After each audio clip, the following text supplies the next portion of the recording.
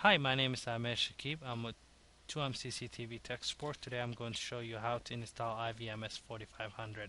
I'm using an iPhone, so go ahead and open the App Store and search for IVMS 4500 and the one you need to download is IVMS 45 Lite.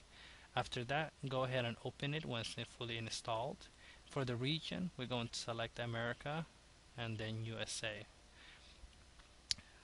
Then press enter to start and when it first loads you'll be in the live view. So go ahead and click the three triangle at the top left corner select devices.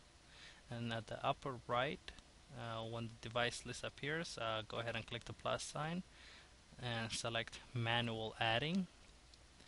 And when the manual adding uh, option comes up follow these steps. To delete the alias just press the X. Then on the register mode select IP domain Go ahead, go ahead and type in your information. When you finish, press save at the upper right. Then press start live at the bottom to get your uh, your live view. And to start the remote playback, press the upper left. Select remote playback on the left panel. Then click the uh, playback icon on the upper right. Select uh, put your starting and two select one camera or select all and press uh, start playback.